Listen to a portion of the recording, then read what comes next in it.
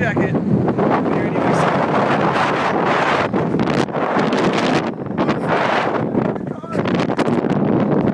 What the fuck was that? Oh, oh, oh my god. Oh my god. Oh my god. I didn't think I was gonna make it. Neither. So yeah, uh, sorry, uh, let's take two here. Um, Holy shit. Hi, I'm Jon Acosta.